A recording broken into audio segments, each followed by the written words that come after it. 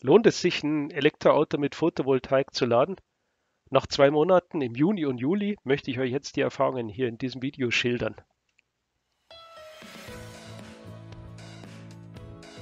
Im Juni und Juli sind wir jeweils 1500 Kilometer im Monat gefahren. Dabei hat die Renault Zoe 12 Kilowattstunden auf 100 Kilometer verbraucht. Rechne mal 15 mal 12 Kilowattstunden sind das 180 Kilowattstunden, die die Zoe jeden Monat verbraucht hat. Die Einspeisevergütung beträgt 11 Cent pro Kilowattstunde. 180 Kilowattstunden bringen 19,80 Euro. Zum Vergleich ein Diesel mit 6 Liter auf 100 Kilometer Verbrauch und einem Literpreis von 1,10 Euro. Bei diesem hätten die 1500 Kilometer 99 Euro gekostet. Nachdem ich im Juni und Juli zu 100% Solar getankt habe, ergibt sich diese Ersparnis.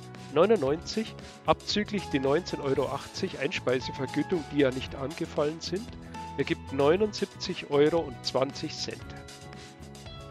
Hier seht ihr die Ausrichtung meiner Solaranlage. Ich habe eine Ost-West-Anlage, das heißt ein Teil der Module ist nach Westen ausgerichtet und Teil der Module nach Osten. Auf der Westseite sind es hier 12 Module auf der Ostseite nochmal deutlich mehr Module. Insgesamt hat die Anlage eine Leistung von 9,5 Kilowatt Peak. Die Werte, die ihr seht, sind übrigens vom heutigen 1. August. Insgesamt sind 57 Kilowattstunden produziert worden. Hier seht ihr jetzt den Juli 2020, das war ein recht ertragsreicher Monat. Insgesamt habe ich hier 1312 Kilowattstunden produziert. Das Haus hat etwa die Hälfte verbraucht mit 664 Kilowattstunden. In diesen 664 Kilowattstunden sind auch die 180 Kilowattstunden der Zoe mit enthalten.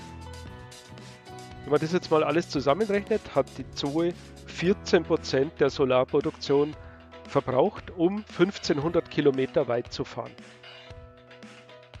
Hier möchte ich mal ganz gern den Jahresertrag für 2020 darstellen.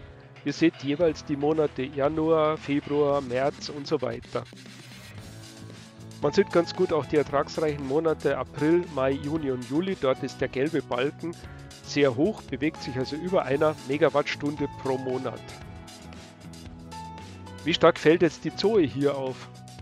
Ihr seht die roten Balken, das ist der Hausverbrauch und man sieht, dass insgesamt der Hausverbrauch zwar um 180 Kilowattstunden gestiegen ist, dass es aber relativ zu dem sonstigen Verbrauch hier nicht großartig auffällt.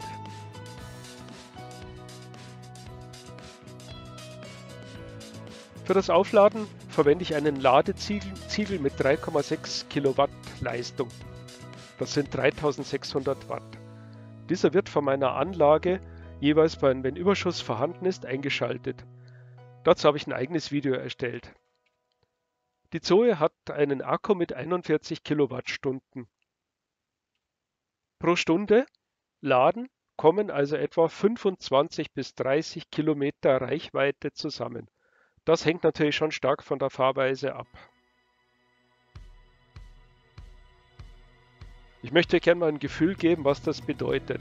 Nehmen wir mal an, ich starte hier in München, hier in der Mitte zu sehen und möchte gerne nach Erding fahren. Nach Erding sind es hin und zurück etwa 80 Kilometer. Ist ja natürlich immer sinnvoll, den Weg hin und zurück zu betrachten. Für 80 Kilometer, ist der grüne Kreis hier, muss ich etwa zweieinhalb Stunden laden. Jetzt möchte ich den Kreis nochmal vergrößern. Ich möchte jetzt nach Landshut fahren von München. Das ist schon etwas mehr, das sind hin und zurück etwa 140 Kilometer. Das ist der Radius, den ich etwa mit 5 Stunden Ladezeit erreiche. Wenn wir jetzt nochmal einen draufsetzen und ich möchte jetzt hier nach Innsbruck fahren, ganz unten über das Karwendelgebirge, das sind 300 Kilometer. Für 300 Kilometer muss ich Größenordnung 10 bis 12 Stunden laden. Allerdings hängt es hier natürlich ganz stark von der Fahrweise ab.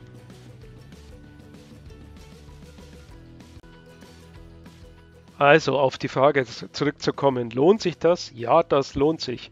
Ich habe jetzt zwei Monate keine Tankstelle gesehen.